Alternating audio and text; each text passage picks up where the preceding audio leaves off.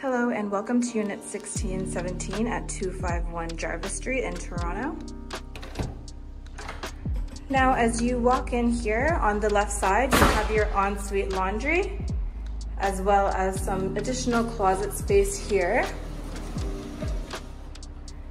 And straight away here is the bathroom. This unit is brand new, never lived in before.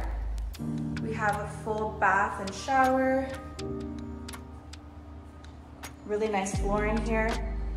And as you walk into the unit on the left here, this is considered a media instead of a den where you could have a little office space. And here is the kitchen. Everything is granite countertops with stainless steel appliances. We have our oven, dishwasher, microwave, and fridge. Now here is the first bedroom. This room could comfortably fit a double bed or a queen. And here we have our closets. Now this common area here, you could fit a couch over here, maybe a sectional, a little dining room table. And we have our balcony here. The balcony is actually quite spacious. As you can see, you have a nice city view here. And you can see how large the balcony actually is. And nice view.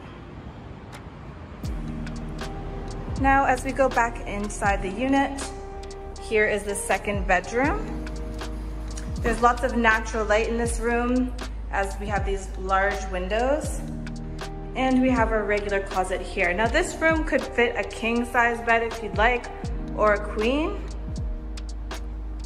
And you have this nice view from your bedroom. Now, if you are interested in this unit, Royal York Property Management would be happy to assist you. Feel free to contact us and have a great day.